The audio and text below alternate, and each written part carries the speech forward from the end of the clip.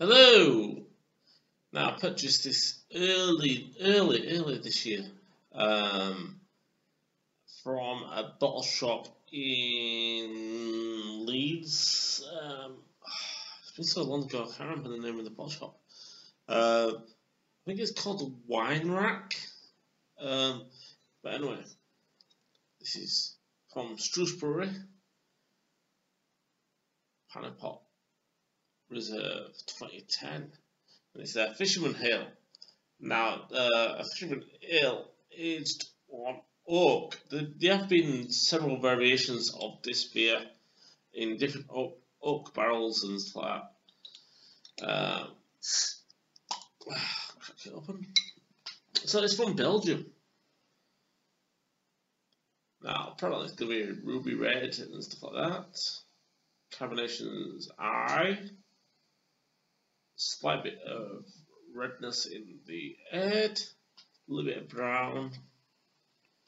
Um, yeah. So it's, a, it's supposed to be like a red. Now this weighs in at 10% You can hear that fizzing noise. It's just basically I'm letting it try and settle down. So in the course of letting it settle down, you've got to basically aggravate it so it tires itself out. Um, so yeah. Um, now they brew this in almost like a de dedication to all the fishermen that sacrificed their life to feed the families of Belgium and Europe. I mean, so many. I mean, it's an hard task. You watch it on uh, television these days. Those fishermen go through a lot of hard labour. Almost there. Um, yeah, they go through a lot just to put food on not only their family, their family's plate, but everybody else's. You get those rich, dark fruits a little bit of red wine, slight vinous. Uh, it's almost like maple syrup, but it's like really sugary. Almost like dark treacle. Red wine, touch of Merlot, almost Cabernet Sauvignon. It's that really dark red wine.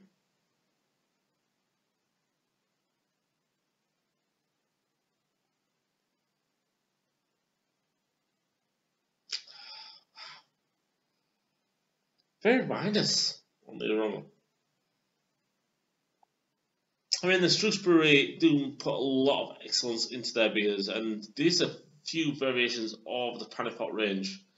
Um, if you want for Panikos Kone from Beer Guru Reviews, I won't know about any of these beers, um, but I know he reviews a lot of their beers um, and enjoys them.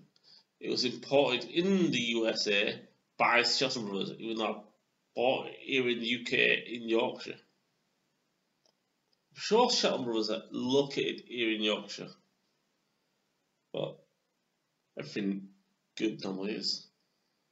Right, I feel it's settling down now, so I can just, yeah, the is is gone.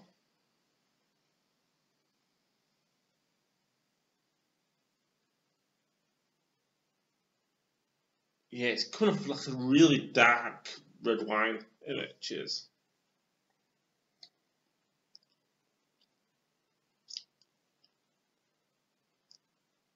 There's a slight bit of um,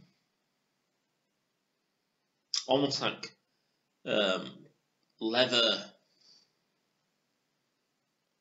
and boot polish. Yeah, wine coming through.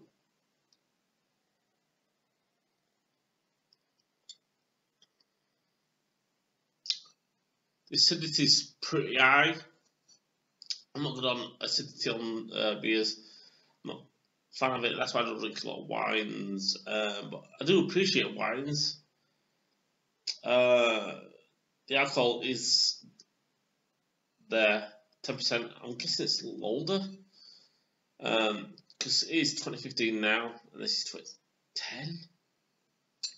Uh, what about again? Probably not, because I'm, I'm more of a relaxed drinker, but I do appreciate good beers. And you can taste this is a good beer. It's just. I'm glad it's at the end of the night, because otherwise I'd be sleeping at 6 o'clock in the afternoon. Well, now it's going on 10 o'clock. It's perfect time to drink this beer. Um, wow, yeah a slight bit of almost like absence to it, All that me, me, me, uh, menthol. What's the name? See, alcohol's kicking over now. It's basically intoxicating my brain. Uh, wow, yeah. I'm glad it's the end of the night beer. Uh, it's not really sessionable. It's not really quaffable. It's not all those other things. Again, it's end of the night. Is it beer? No. It's more of a probably once a year beer.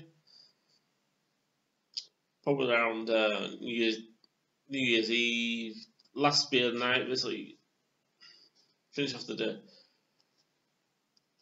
But yeah, this is Shrewsbury.